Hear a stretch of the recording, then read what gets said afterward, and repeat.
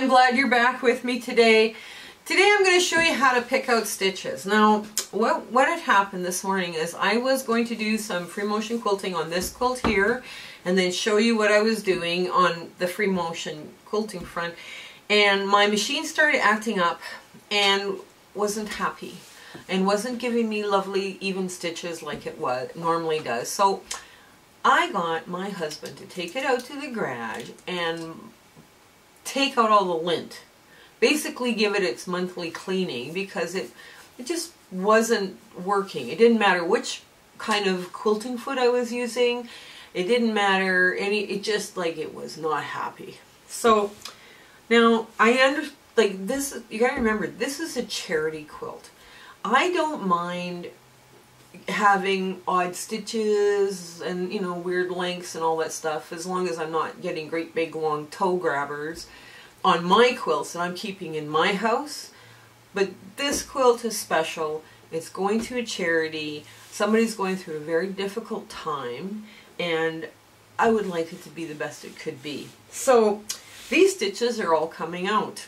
We're coming up with a different plan and that's going to happen, that happens to the best of us. It's not you. It's not just you, or it's not just your machine, or it's not just, you know, there's days where you just have a problem. But it's, can be deal, if you have a problem, we have to deal with it, right? So I'm going to try and show you how to deal with it when you're not happy with your stitches. But keep this in mind. People wouldn't normally see this so they wouldn't see the uneven stitches. Once it's it's all quilted and once it's all washed, they wouldn't see it. They wouldn't see mistakes, little mistakes. It's just like for me, I thought this is the perfect time for me to show you how to undo something, how to undo some quilting. So come on here a little closer. I'm going to explain to you what tools you need. Okay, so we're here. I'm hoping you can see it's these three triangles that I'm going to be pulling out stitches from. And now the tools you're going to need for this is a tweezer, a good tweezer. Now if this is a cosmetic tweezers, there are, you can buy the real needle nose ones. This one's quite good because it's got little sharp points on it and it's got a sharp side point. Um, you'll need a stitch ripper. It doesn't matter if you've got the one with the ball on it or not, but make sure it's sharp. And um, this stitch ripper has uh, one of these ends where it's kind of a rubberized ends. And what it'll do is help you remove the little dots out of your work as you go. So if you don't have one of these stitch rippers with this end, you're going to need a white polymer eraser and this is the brand I prefer. You can pick them up when you're the school supply sale should be still on at the some of the the office stationery supply stores, but you know this is you know one that you can pick up reasonably priced. So what I'm going to do now, this I just had some really horrid stitch quality here. I didn't have anything really even or anything. So what I'm going to do is I'm going to quickly show you the back is here. And I'm hoping that, no, you can't see, it's better on the front. Okay, so there's uneven stitches. Now, I don't mind uneven stitches for a quilt. I'm going to use my own.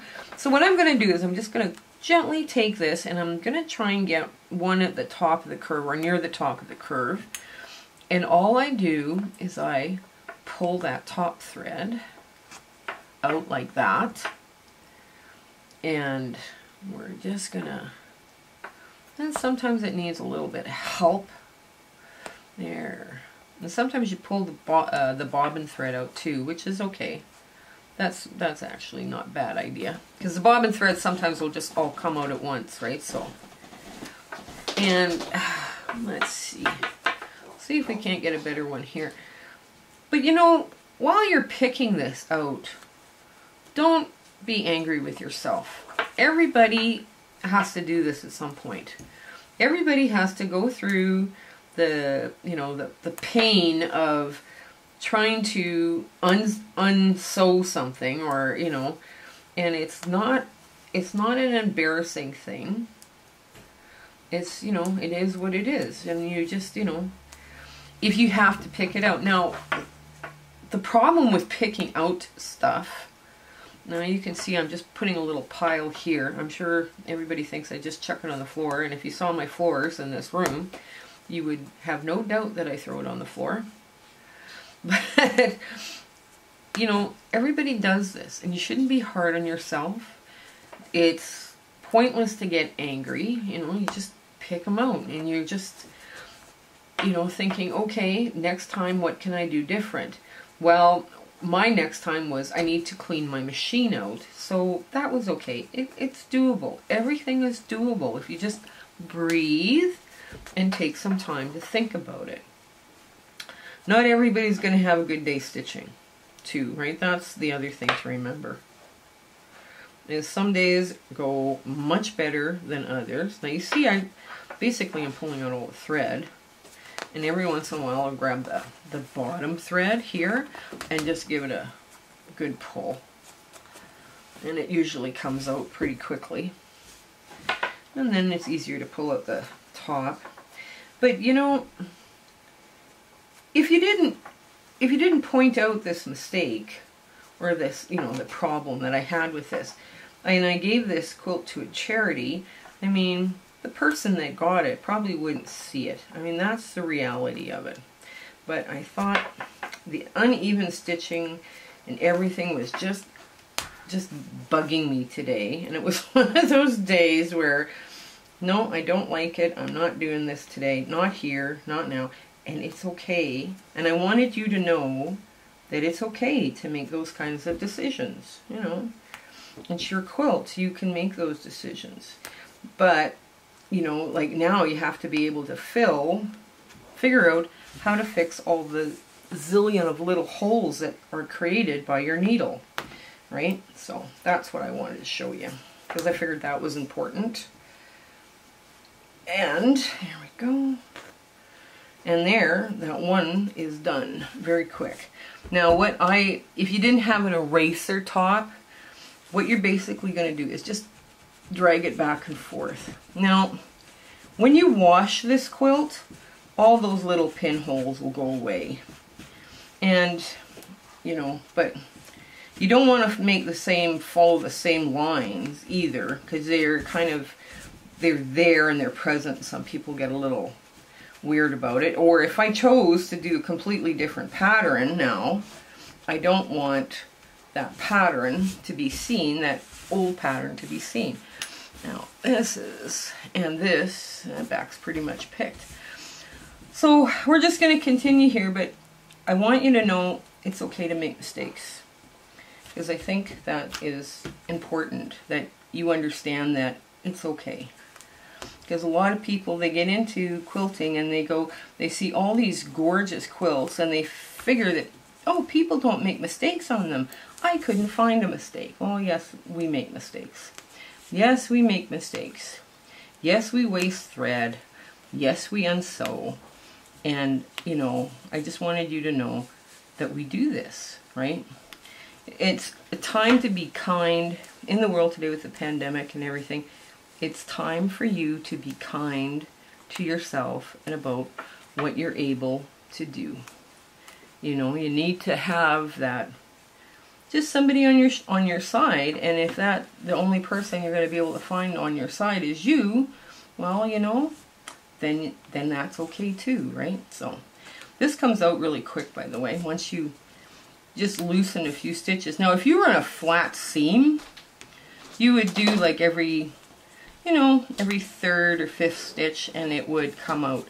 Most of the time when you're quilting you have your stitches are a little bigger so they're a little easier to get out than if you're uh, removing a flat seam.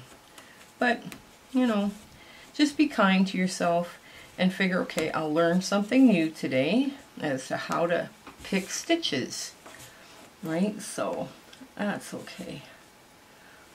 I hope you can see well enough here. But you move quite along quite quickly once you just pull a few odd stitches, you know, you just pull them out. Just like that. And yes, we all do this. We all make mistakes. It's fine. There we go. I'm just about done this block too. There. So when you're thinking, when you're doing this, think about happy things. Don't get frustrated. Don't get angry. Don't sit there and judge yourself and say, well, I could have done that a whole lot better. I could have done, you know, I should have done this or I should have done that. That's not what this is about. Okay, now, and we're just going to get the last of this, and I wonder, yep, there's all the back. The back is all there, ready for me to just break off. There. So we've got two squares done. Now, I'm going to pick the last bit by myself, and I will be back here and I'll show you what, what it looks like when it's all done.